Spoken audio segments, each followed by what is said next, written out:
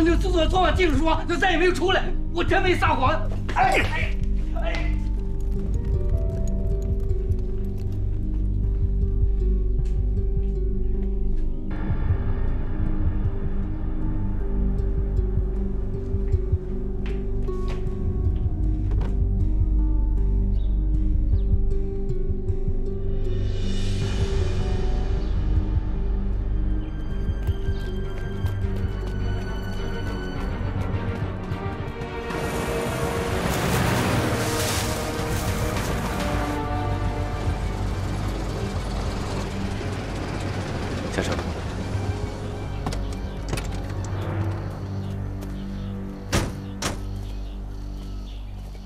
一会儿你过了那个土坡，上那个石桥。上了石桥以后，你会看到一艘小船，那艘船是专门接应你的。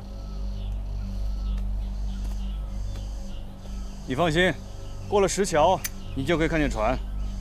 先过来把衣服换了吧，别让咱们的人误会了。谢谢你啊，沈鲁智。到那儿以后，会有人问你现在几点了，你就回答现在十点，还是我没有手表。谢谢组织长对我的安排，咱们后会有期。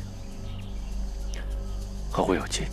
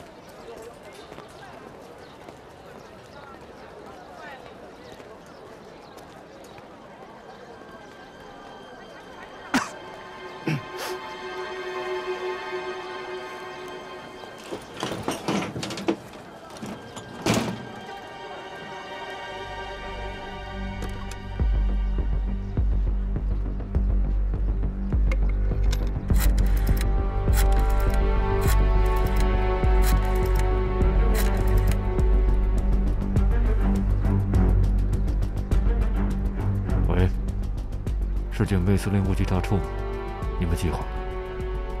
南市盛家街众名米行，是中共地下党公运组站点，你们再记一下。南市盛家街众名米行。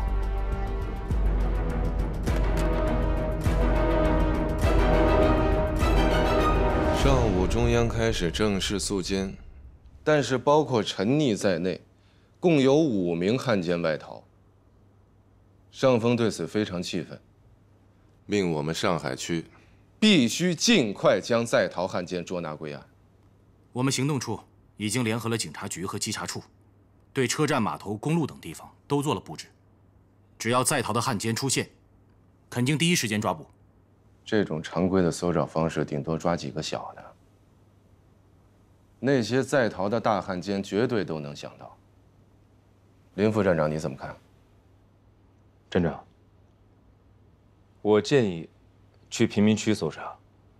那个地方流动人口很多，难民也很多，绝大多数人没有上过学，不识字也不看报，所以如果真的有汉奸躲在其中的话，很难被发现。可是上海的贫民区面积太大，情报搜集太难了。我只看结果，就是掘地三尺也得把他给我找出来。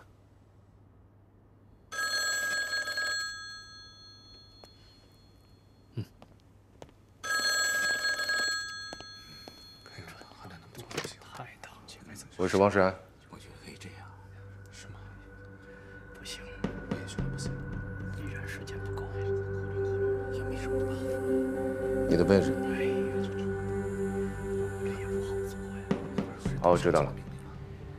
谁呀？上来都不知道他想干什么。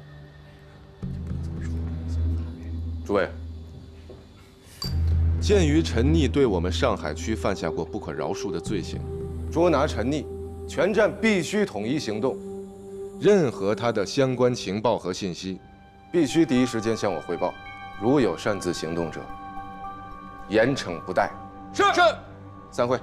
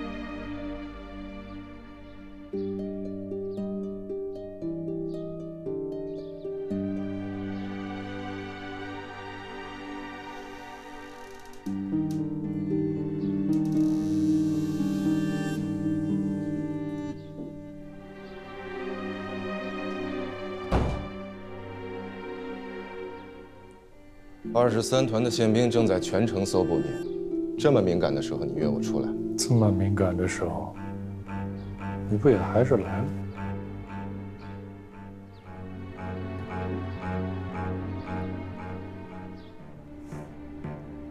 别紧张，重要的事儿，帮你。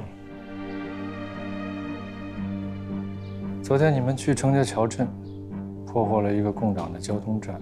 在破门而入的时候，遭遇了共党的自爆。但炸死的那个不是共党的消防员，而是一具从防疫所找来的暴毙的乞丐尸体，编号十九，是真是假，你一查便知。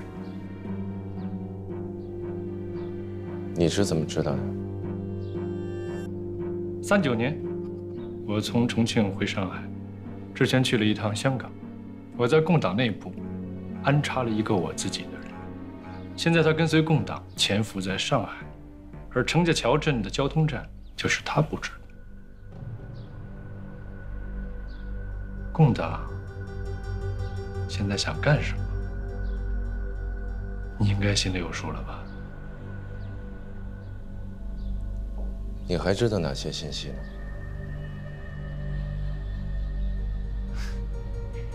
这是共党近年来最重要的一次掩护行动，这么大的手笔，对应的一定是一件大事。老王啊，跟我说说，你那边出了什么状况啊？我帮你参谋参谋。这个你没必要知道，对你我都安全，我自己会处理好。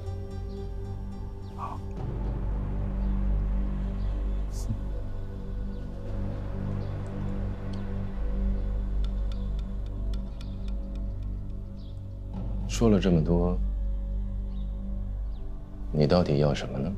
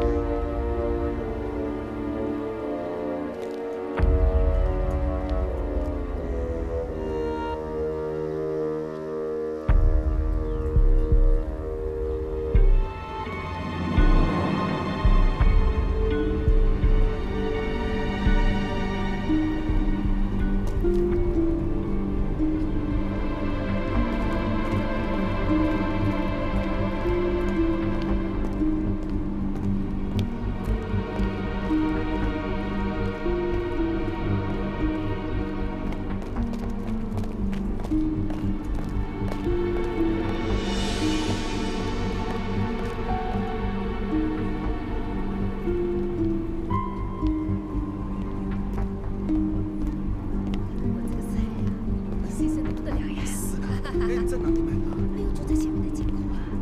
改天我带你去好了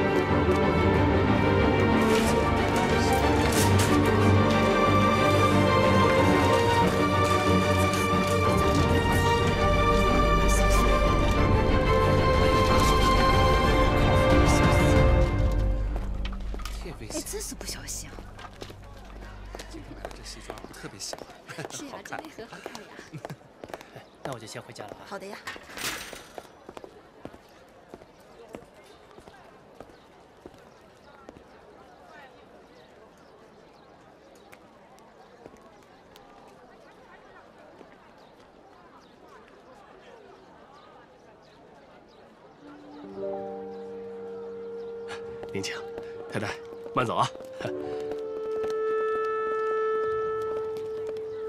啊，先生，这枚胸针的样式比较老，现在已经没有了。不过我们现在到了很多新的款式，您不妨进店里挑选一下。你们这个不卖的吗？不好意思，先生，这枚胸针呢是一位太太寄放在店里维修的，不卖的。一位什么样的太太？这个就是一位年轻的太太，先生，您这是没事，我就是随便问问。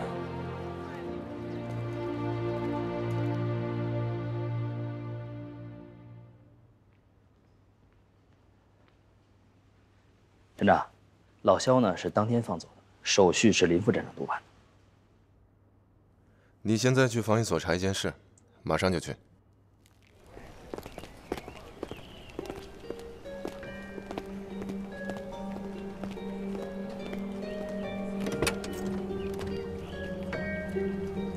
出什么事了？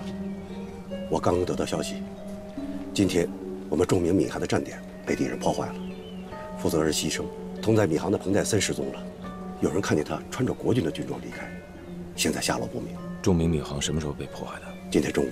今天？那肯定不是军统干的，有可能是稽查处那边。这个人参加了之前掩护老肖的任务。他在任务中负责什么？负责在市防疫所找到尸体。我明白了，我会想办法尽快落实这个彭代森的去向。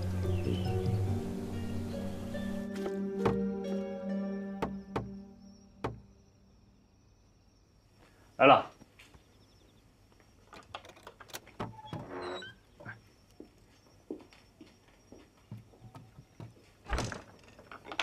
好大的醋味儿！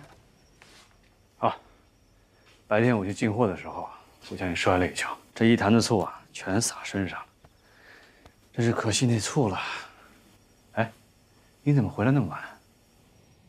我们公运一组的重名米行被敌人破坏了，彭代森失踪，老许牺牲了，咱们内部出现了叛徒。彭代森失踪了，你说他有没有可能是被捕了？他要是被捕了，投敌叛变，把我们这供出来怎么办？组织上也正在查找他的下落。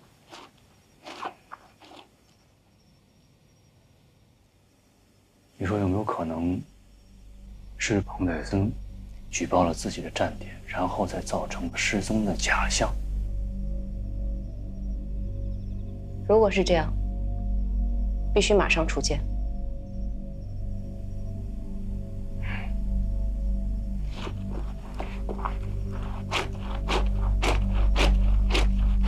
防疫所那边确实丢了一具男尸，编号是十九。站长，这就说明老肖这件事儿彻底是假的呀！共产党这是玩得出里应外合呀。沈老肖的就那么几个人，小喽啰插手不了这么大的事儿。要我说啊，林副站长和廖处长，其中必定有一个是内奸。你觉得这个案子的过程中，他们两个人哪些是真的，哪些是在演戏呢？事儿是廖处长主动揽下来的，去抓老肖老婆的也是他，主审的呢也是他。但是，最后逼着老肖开口那几枪，又是林副站长开的。这一下很难分清楚啊。这都让你说了。他们两个，一个是戴局长的红人，一个是拼死跟我留在上海的老人。如果处理不好，要么伤了戴局长的面子，要么让站里的这些老人寒心呐。还有一件事，审讯老肖当天啊，林副站长一大早单独提审了老肖。这你为什么不早说呢？这个负责看守的人说的，审讯录音里头，他说的都是劝降的话，没什么异常的，所以，所以我就……所以什么呀？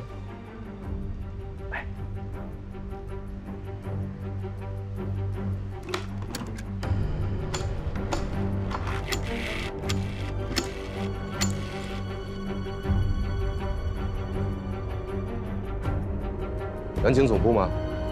我是军统上海区王世安。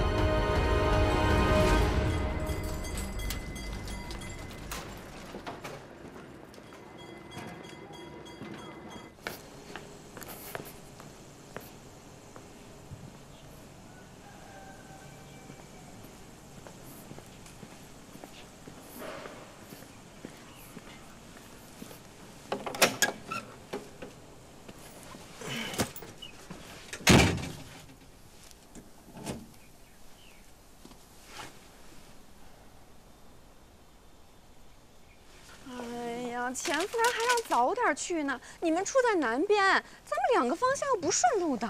让你早点起来。不过呀，你们就打个牌，晚去会儿没什么事儿。我起的还不早啊！哎，大的叫小的哭的，我有什么办法呀？再说市长夫人着急啊，这怎么能迟到呢？唐副处长，嫂子好。呀，小林啊，哎，你看啊，楼上楼下住了这么久，你什么时候来家里坐坐呀？哎，人家现在可是林大站长了，哪有那么多空啊？你以为还是在重庆呢？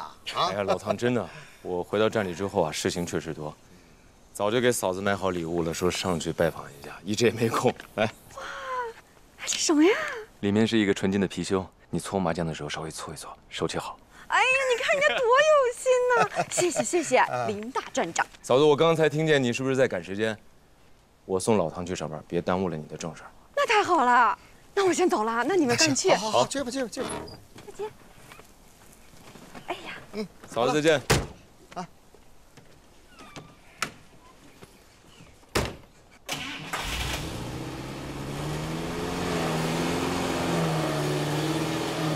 走吧。老唐，嗯，我们最近抄了中储银行的上海分行，啊，有几辆别克，还有几辆庞蒂克。你要是不嫌弃，就过去挑一辆。有这好事儿？哼，有什么事找我吧，直接说。直接说，我还真有事要质问你一下啊。昨天，众明米行是你们的人查抄的吗？说林副站长这消息够灵通的呀。你们是怎么知道那个站点的呀？是有人直接举报的。那你们跟举报的人接触了吗？是不是要自行的共党啊？你问这么详细，想要干什么呀？我想起来就生气。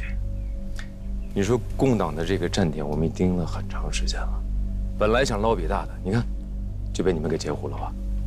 哼，你要这么说，我还真对不住你了。我知道的不多，哎，不过我可以帮你问。主要是啊，我们那个王世安王大站长给我的压力太大。哎呀，这个我知道，咱们都一样啊，都是小媳妇儿。我们冲那方处长，还有你们那个王站长，他们就……我们不要背后议论上峰。哼，我怕什么呀？哎，我现在啊，比委员长的官位都大。怎么样？今天我司机都是上校啊。嗯，长官上车。好嘞，哈哈，走。哎呀，车给你留着了，到时候亲自去挑一辆。得嘞，走。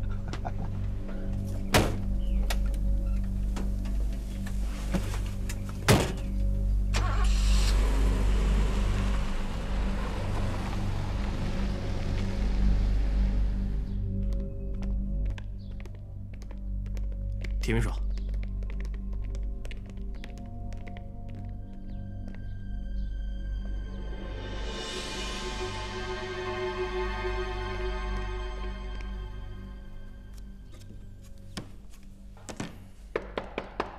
进来。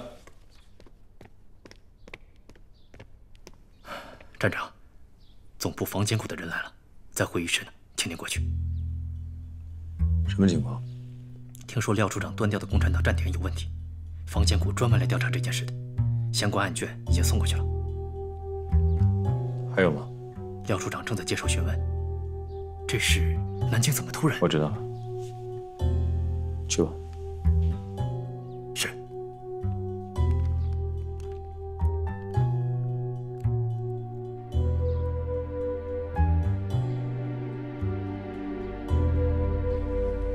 当时日本刚投降，各部门的人员还没有补充到位。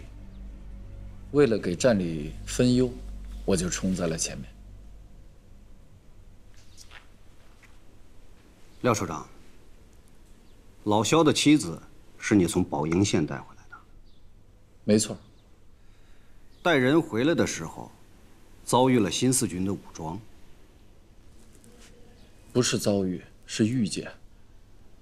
我们扮成收货的商人，从他们面前走过去的。跟你去宝应县的两个人，这次都被炸死了。你什么意思？你是在怀疑我吗？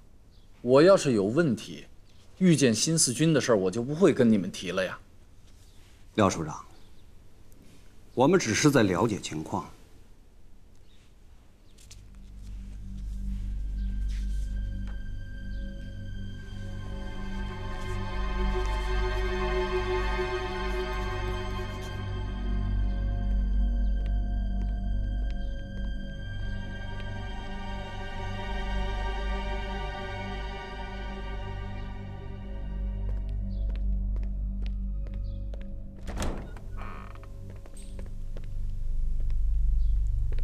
林副站长，我是总部房监股股长裴浩川，你请坐。好。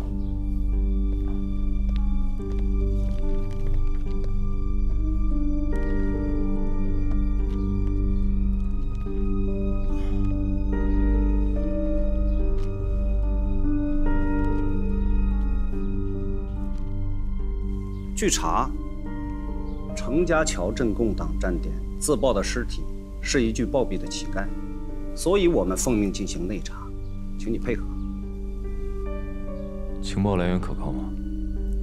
王站长已经核实过了，确有此事。林副站长，老肖这个案子，你是什么时候介入的？我从重庆回到上海不久，我过来的时候，这个案子就一直由训练处的廖处长在具体负责。你分管审讯，为什么一直不让情报处的介入？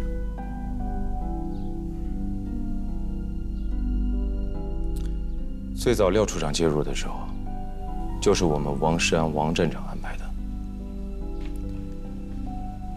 廖处长用特高课的人参与审讯之后，我就跟王站长提过跨部门审讯的问题，我建议移交情报处处理。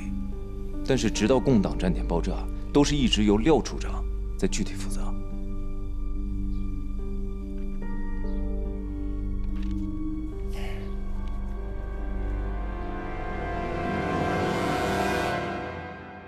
你到底想说什么呀？呃，我调查过了，咱们第三方面军看仓库的人，一直在偷着往外卖东西，共党一定是从他们手里买的手榴弹。这是个思路。房间谷的人从里往外查，你带人从外往里查。我想通了，林南生从重庆回来插手这个案子，并不是要跟我抢功劳。老廖，无论这个内奸是谁，都是我不愿意看到的。毕竟这对上海区来说是一件丑事。当然，我更不愿意相信是你。但是房间谷的人，指认证据。站长，我知道房间谷意味着什么。我不想争辩谁是共党，反正我不是。一旦查到线索，我肯定查到底。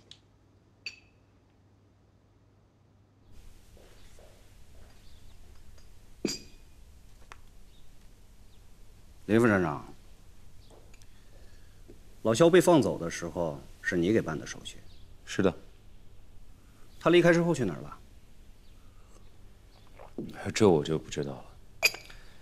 我是用自新人员的程序给他办理的，我给了他足够的钱。林副站长，老肖招供那天，也就是审讯老肖妻子的当天，你为什么要提前对他进行单独审讯？审讯共党一份，是我身为上海区副站长的职权。那天的笔录还有录音，都有据可循。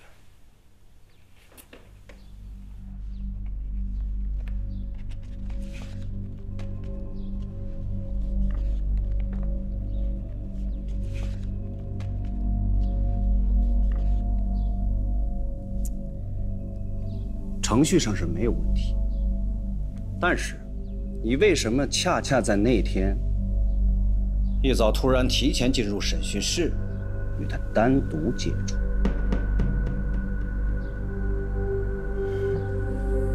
什么意思？你们怀疑我是共党的奸细吗？祸不及妻儿，廖处长使用这一招，一旦没有弄好，刺激到当事人。反而会起到反效果。这种事情以前不是没有发生过，所以我那天过去是想再试一下，跟姓肖的点名利害关系。你们房间谷查案都是有罪设定的吗？林副站长，请你不要激动，我们房间谷是不会随便出现在上海区的。这个我懂。在案件没有查清之前。我们会随时找你问话，希望你能理解和配合。如果你们觉得我的嫌疑是最大的，你们随时可以给我带回南京。我相信戴老板会听我解释的。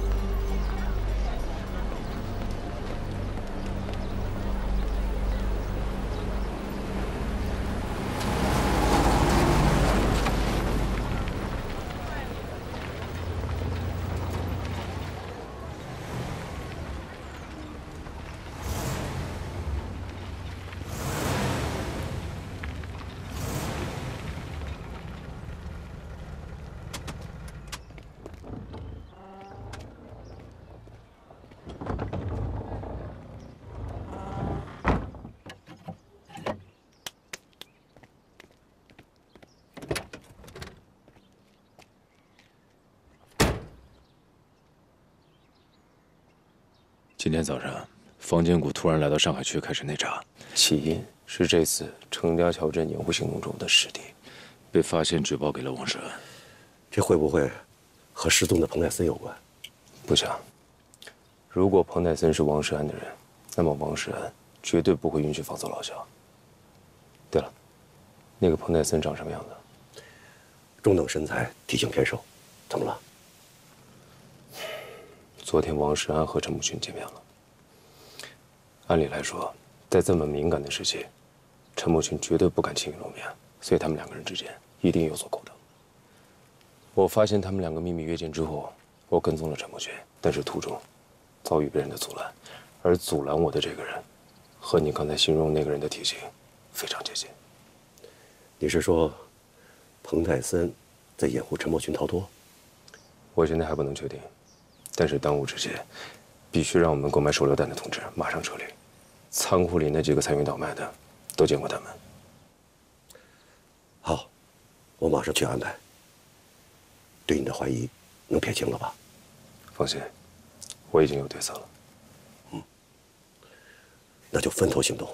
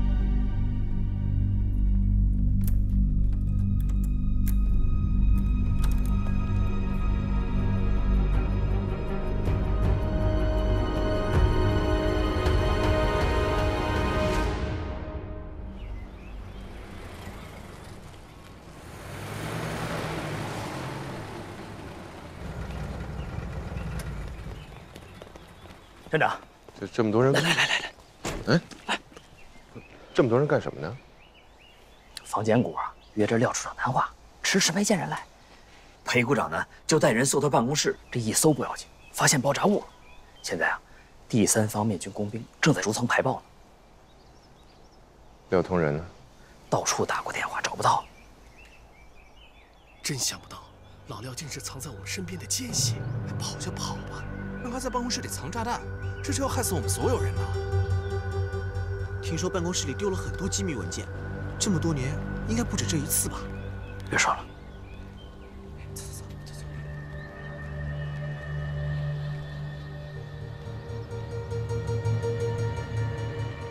王站长，林副站长，廖通的档案我们还要带回南京继续分析研究。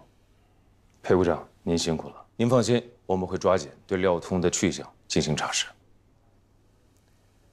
王站长，戴局长对这次上海区发现内奸的事件非常关注。这可不是我们房监股一份结案报告就能说得过去的。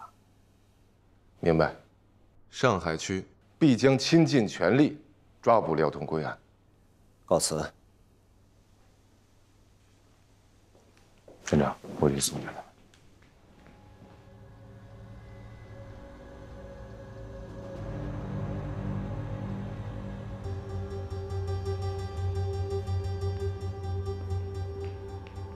站长，廖处长真就这么跑了？这么多年了，廖处长不像这样的人啊。用得着你来分析吗？他不是谁是啊？这个时候说话可是要负责任的。出去。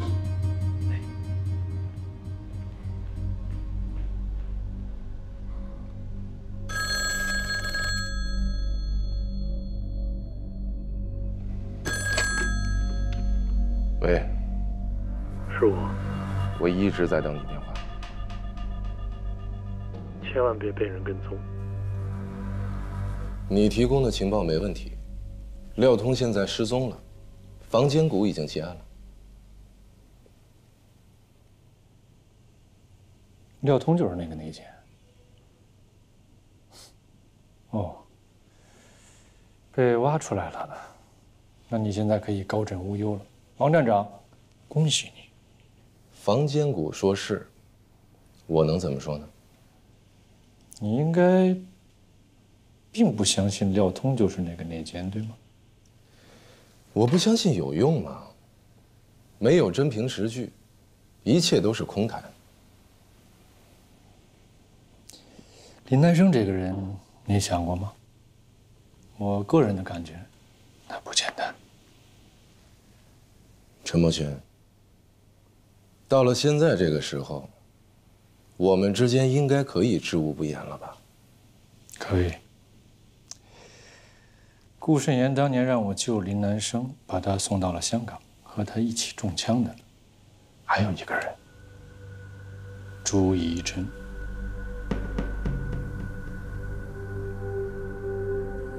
你先说说顾慎言跟你说了什么？顾慎言给我的解释就是，你们要从共党那儿拿情报，朱一贞就是共党派来的接头人。没错，我当时是有这个想法，林南生就是我派去接头的。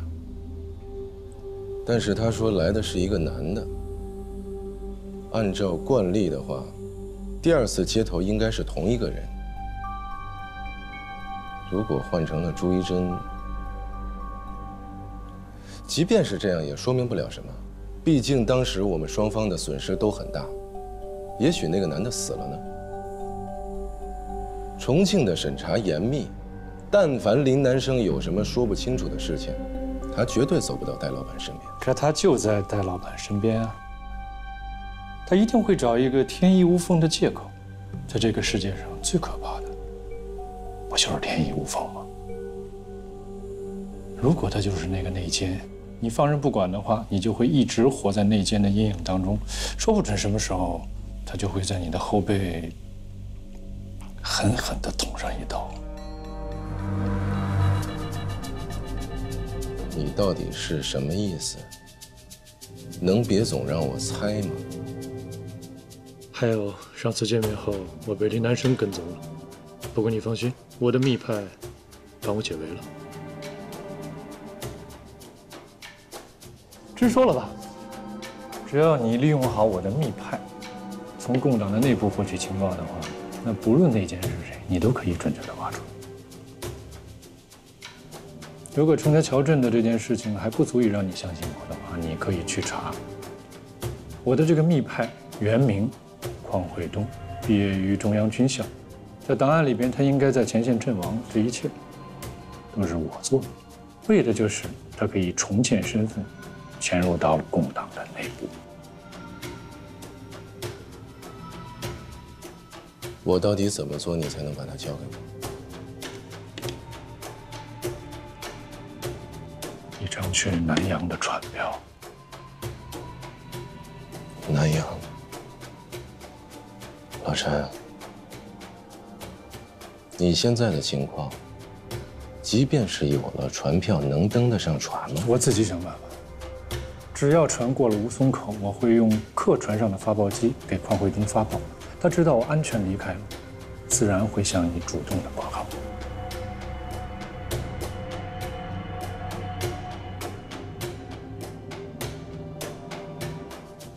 你跟他接头的信物是一块手表，我拿到船票的时候会把表交给你。如果你有什么紧急的事情想找他，在报纸上。登寻人启事。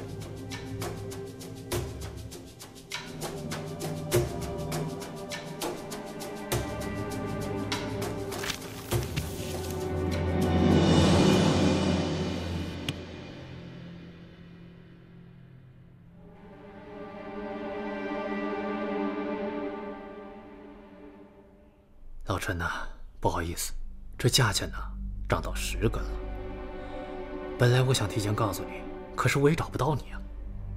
你想想，我堂堂一民政局副局长，干这事儿就是为了钱。